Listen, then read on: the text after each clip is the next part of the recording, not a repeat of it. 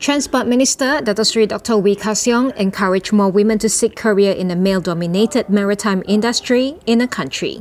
Speaking in a recorded message when launching the International Day for Women in Maritime 2022 on Wednesday, Dr. Wee said the maritime industry promises good career prospects. Moreover, women currently in maritime industry should gracefully break the glass ceiling by being a competent worker stand together united in associations to change the entrenched social and cultural bias against them in maritime areas. Maritime Department Deputy Director Dr. Yasmin Muhammad Hasni said there is still ample room for women to serve in the industry. Uh, populasi di Malaysia lima, uh, uh, satu nisbah satu tapi peratusan uh, wanita uh, dalam sektor maritim ni hanya um, 2% wanita. Kita ada Selat Melaka. Selat Melaka kita ada 80,000 kapal dagang lalu.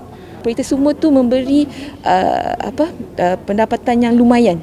Meanwhile, 22-year-old Nurul Fakira Zulfian said she has been fascinated by science and developed a love for sea charts after taking up a degree course in nautical science in University Malaysia Terengganu.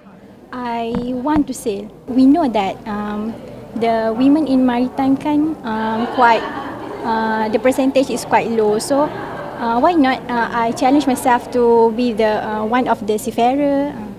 International Maritime Organization Secretary General Kitack Lim also lauded Malaysia's efforts to encourage more women to be involved in the industry.